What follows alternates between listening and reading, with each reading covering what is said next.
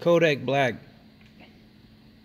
is receiving a lot of backlash, negative press over that Lauren London comment that he made, knowing that Nipsey Hussle just got murdered and he still was talking about getting with that man's widow.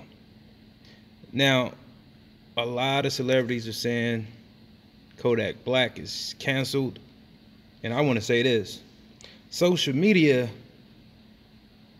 will be his de- demise, his downfall, just like it was 6 9 Tekashi, because they're both stupid and retarded and ignorant. And all social media is, is a bunch of people that don't have shit else to do but talk shit about you.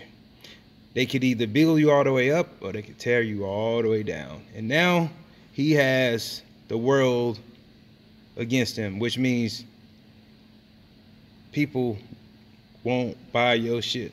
So especially when you get the generals, like the game and T.I. to say you fucked up, you really doing bad. Check this out. Hey, Kodak Black, you out of pocket, nigga. Fix that shit. Quickly.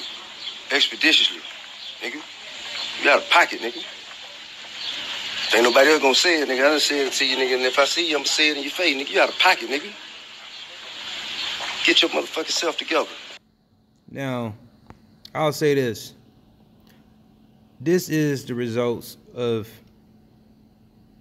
Kodak Black talking about he don't respect nobody how in the fuck you don't respect the OGs? You you already was built to fail. When you don't respect the OGs, you ain't gonna never get far because the OGs is at the top. They would they would never allow you to get to the top without having respect for your OGs. So those are some wise words for all the millennials. Subscribe.